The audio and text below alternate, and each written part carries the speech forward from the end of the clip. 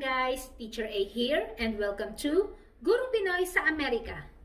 So for today, ang pag-aaralan natin ay writing linear equations in standard form which is ax plus by equals c and in slope-intercept form which is y equals mx plus b.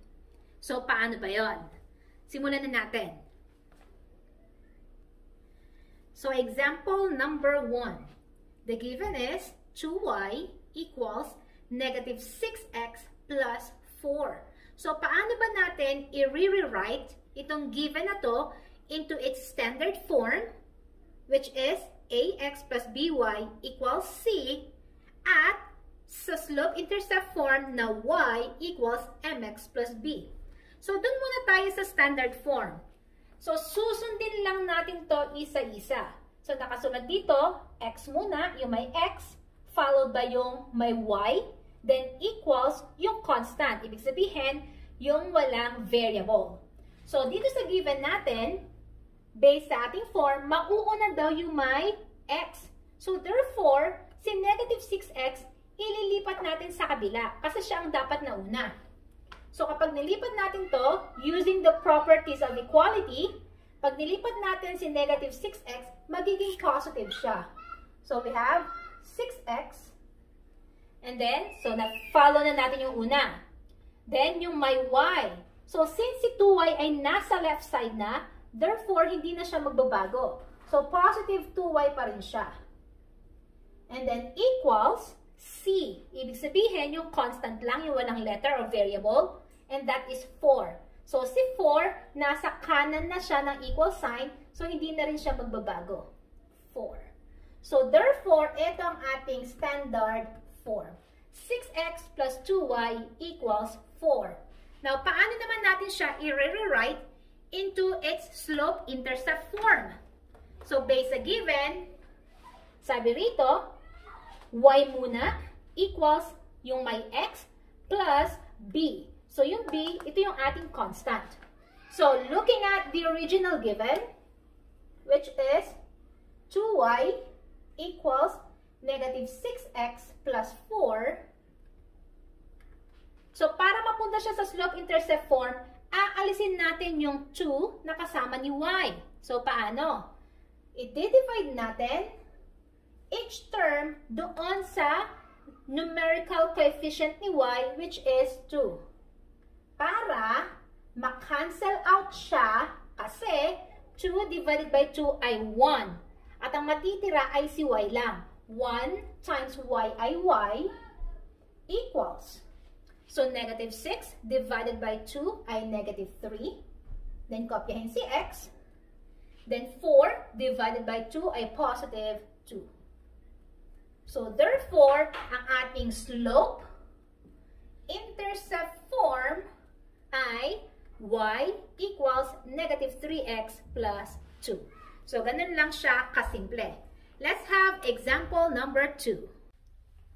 Okay, given 2 over 3y equals 3 fourths x minus 1.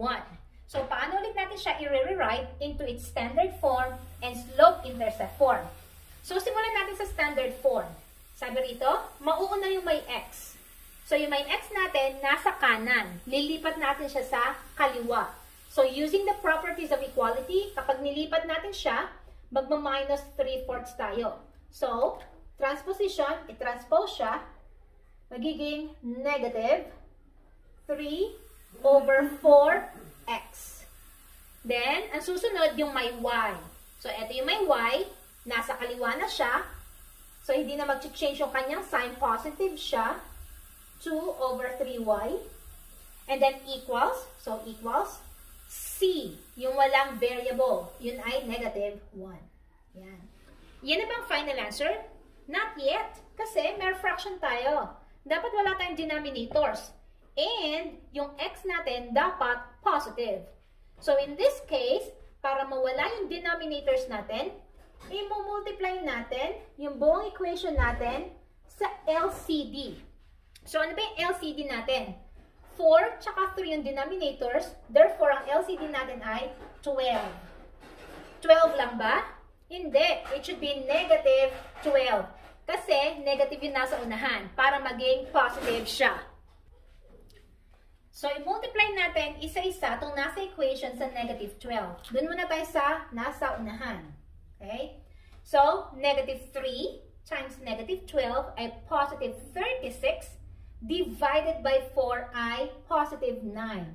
So, 9 and then kopyahin si x. And then, pangalawa naman, we have positive 2 times negative 12 ay negative 24 divided by 3 ay negative 8. So we have negative 8y. Then equals. So si negative 1, i-multiply din kay negative 12. And that will give us positive 12. So therefore, ang ating standard form ay 9x minus 8y equals 12. Now, paano naman natin gagawin ang ating slope-intercept form. So, eto ngayon ang ating standard form. 9x minus 8y equals 12. So, kopyahin ko siya. 9x minus 8y equals 12. Para maging slope-intercept siya, malipat sa slope-intercept form, si 9x, ililipat natin sa kabila. Dapat si y lang ang nasa left side. So, maiiwan si negative 8y equals ilipat si 9x sa kabila. Siya kasi ang una after ng equal sign. Positive 9x, nilipat, magiging negative 9x. And then, kopyahin natin si plus 12. Now, since may kasama si y na negative 8, therefore, i-divide natin lahat ng terms kay negative 8 para ma-cancel out si negative 8. Divide by negative 8 divided by negative 8. So, makakancel out to. Ang matitira ay si y. Nalila ko lang space. Lagay ko siya sa taas. So, since na-cancel out na si negative 8, bakit na-cancel out? Kasi negative 8 divided by negative 8 ay 1 times y ay y, then equals negative 9 divided by negative 8. Hindi na natin madidivide yung mga numbers pero yung mga signs nila, magdi-divide natin. Negative divided by negative ay positive. So we have positive 9 over 8x. What about si 12 tsaka si negative 8? So positive divided by negative ay negative. Si 12 over 8 ba pwedeng i-simplify kung hindi siya pwedeng i-divide? Yes. Pwede siya i-simplify by dividing both numbers by 4. So 12 divided by 4 ay 3. And then over 8 divided by 4 ay 2. So therefore, ang ating slope intercept form ay y equals 9 over 8x minus 3 over 2. So yan ang ating example number 2. So, kung sa tingin nyo nakatulong ang ating video sa inyong lesson na pagsusulat ng linear equations in standard form ax plus by equals c and in slope-intercept form y equals mx plus b, kung nakatulong to, kindly give me a like para i-share din to ni YouTube sa iba. So, that's it for today. See you on my next video. Paalam!